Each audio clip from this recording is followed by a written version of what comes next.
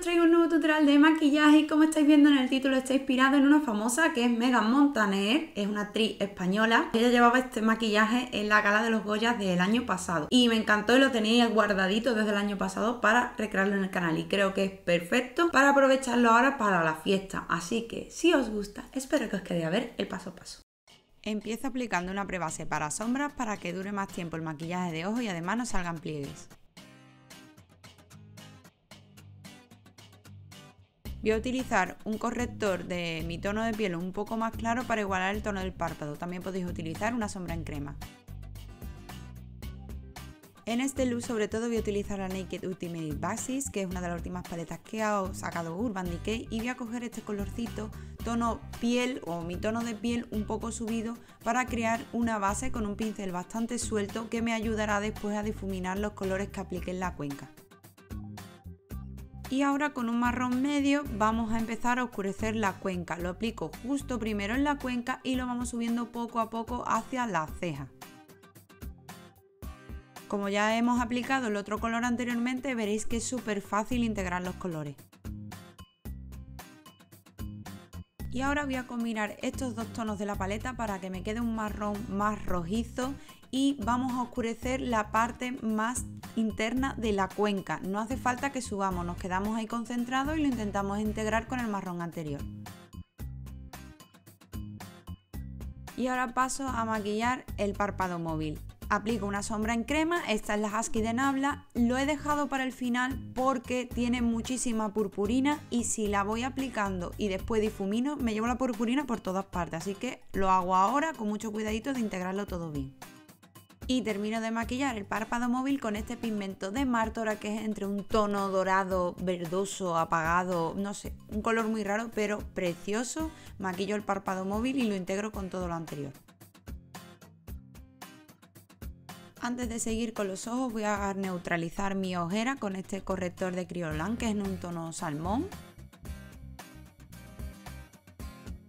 Y ahora sí continuamos con los ojos. Voy a iluminar el lagrimal con este pigmento de NYX que queda súper intenso y además si vais controlando la cantidad podéis utilizarlo hasta como iluminador de rostro que queda precioso.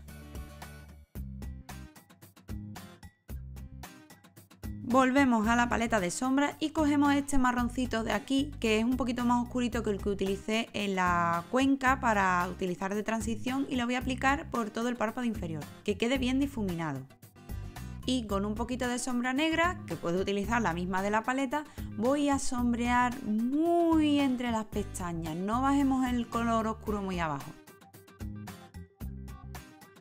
Paso a hacer el delineado y en este caso siempre os lo digo, es a lo que estéis más cómoda, a lo que más os guste. Ella lleva un delineado bastante sencillo, algo gordito, pero no tiene mucha más complicación. Yo siempre recomiendo para este tipo de delineado coger un pincel biselado y ya lo que se vaya haciendo la mañana cada una. En las pestañas inferiores, con lo que me queda en el pincel, no cojáis productos nuevos para que quede muy poco producto. Vamos a pasarlo también entre las pestañas y con el mismo pincel con el que aplicamos la sombrita antes lo vamos a difuminar. Maquillo la línea de agua con un tono beige, también podéis utilizar alguno que sea como perladito o champán, que tenga brillito, vamos. Ya solo quedaría aplicar máscara de pestañas y también unas pestañas postizas si se prefiere. Y ya quedaría terminado el look de ojos, así que ya podemos pasar al rostro. Con estos dos correctores voy a sacar mi tono porque el mío exacto no lo tengo y voy cubriendo imperfecciones que tengo por el rostro. Utilizo Profesional de Benefit para disimular los poros y también pequeñas líneas de expresión. Y mientras asienta el corrector y la prebase, voy a maquillar el arco de la ceja con el tono vainilla que viene en la paleta y luego con el color que es un pelín perladito, que es el único que tiene un poquito de shimmer o de satinado, voy a iluminar la zona más alta de la ceja. Ahora aplico la base de maquillaje, yo voy a utilizar esta de L'Oreal, la infalible Pro Glow, que la conseguí por eBay porque aún no sé cuándo, pero espero que pronto, aún no se vende en España. El acabado es muy bonito, queda jugosa, pero tampoco es brillante como una Face and Body y me encanta, la verdad es que por ahora estoy muy contenta.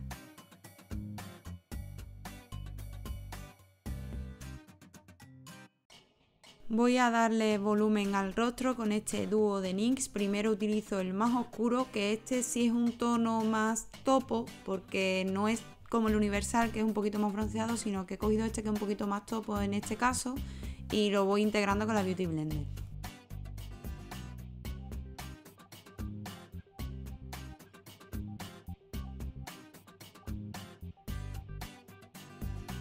Y voy a utilizar el tono más claro en lugar de corrector para iluminar las zonas que quiero resaltar ya sea la nariz, eh, la zona alta del pómulo, el arco de cupido, la barbilla y el centro de la frente. Qué bella yo. Y evidentemente lo difuminamos todo, bueno, a no ser que quieras ir en plan indio y tú a darte una vueltecilla, que también es factible.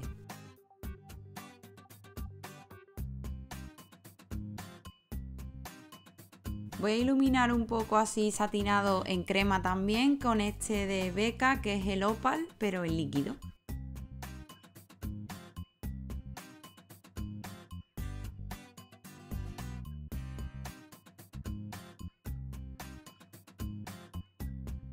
Y ahora toca sellarlo todo con polvos. Como sabéis últimamente yo estoy sellando sobre todo las zonas centrales y luego ya donde vaya el bronceador, el iluminador y el colorete pues ya me termina de sellar esa zona.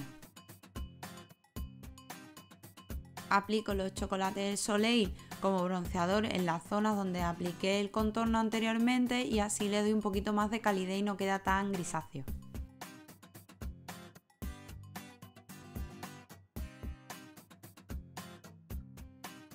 Como colorete voy a utilizar uno muy natural, que es el Madly de NARS, pero tened cuidadito, porque si os pasa como a mí, que os confiáis, os podéis encontrar con un parche tonk increíble y ahí ya me puse a difuminarlo como loca con una brocha más grande. De iluminador en polvo utilicé los de Jorge de la Garza y lo apliqué con un pincel de abanico.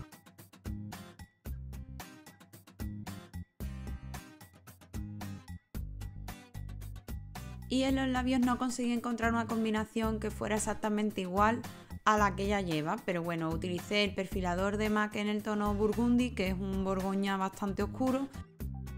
Después utilicé el Wicked de Line Crime por la parte más externa para que quedara bien definido y para dar el efecto degradé pues utilicé el Russian Red de MAC por la parte interna y luego ya fui integrando ayudándome del Wicked y del Russian Red para que quedara bien difuminado. Y ya daríamos por terminado el maquillaje.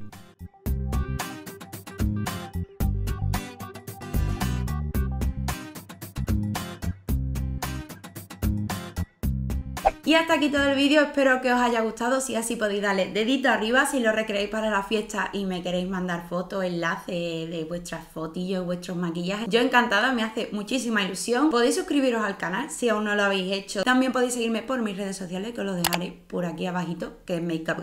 Y así podéis cotillearme pues mi día a día. Así que nada, ya me despido, un beso enorme y cuidaros mucho. ¡Hasta luego!